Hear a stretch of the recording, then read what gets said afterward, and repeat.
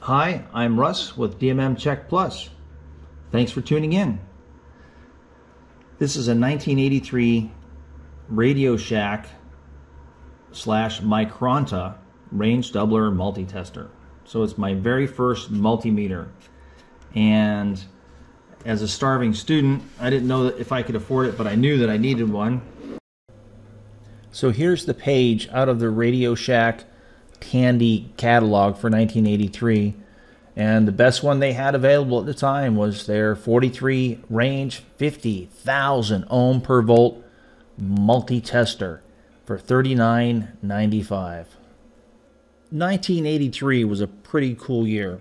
Top movie was Star Wars Return of the Jedi. The police had a top chart with Every Breath You Take. Mario Brothers stepped onto the scene. Sally Ride was the first American woman in space. She got a third place trophy on that. Two Russian women beat us to it. Gas was a buck 24. Milk was $2 a gallon.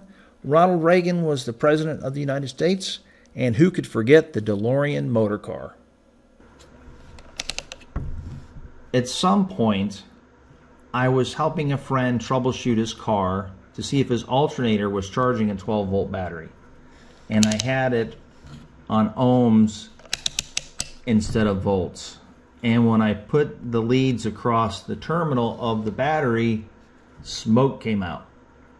So I knew at that time that I had done some damage. So eh, here's what happened. A 950 ohm resistor fried.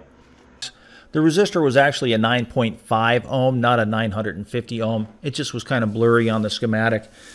You can see there's no fuse or other protection. This was the path that the 12 volts should have taken through a lot of resistors before it went to the dial and then to ground. And this is the path that it ended up going through that one resistor on the ohm setting straight to ground. And that resistor was trying to handle 40 plus watts, and that's why it smoked. And I also noticed that we have some corrosion from a battery that was left in for too long. So I will replace the 950 ohm resistor.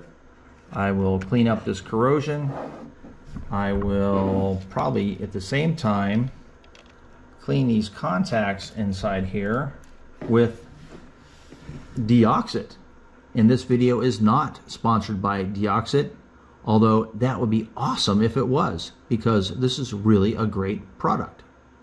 All right, back to this guy. So I'll fix this, put it back together, and we will have a DMM Check Plus Rev 8 high stability model versus the 1983 Radio Shack Micronta multimeter.